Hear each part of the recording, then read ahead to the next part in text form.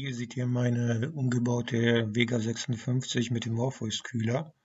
Ich habe den Referenzkühler mit dem Lüfter einfach für zu laut empfunden und ähm, ich konnte damit auch nicht richtig übertakten, deswegen habe ich den Umbau gewagt. Der Umbau ist ein bisschen heikel, weil ich auch die Referenzplatte von dem Referenzkühler verwendet habe und da muss man einiges mechanisch bearbeiten.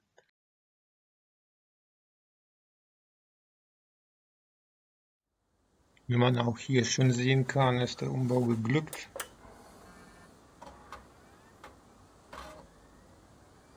Wie man sieht, konnte ich mit dem Morpheus-Kühler eine stabile Taktfrequenz von 1585 MHz erreichen. Ich habe meine Karte auch schon undervoltet, also ich habe die Spannung verringert. Ja, und die Karte blieb mit dem Morpheus deutlich unter 75 Grad bei der GPU-Temperatur.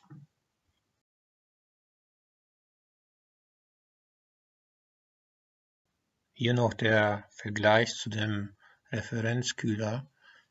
Da konnte ich bei 75 Grad gerade mal 1444 Megahertz erreichen. Was mich aber deutlich gestört hat, war die Lautstärke des Lüfters des Referenzkühlers, die war unerträglich. Um das nochmal audiovisuell zu verdeutlichen, der Referenzkühler mit seinem Lüfter.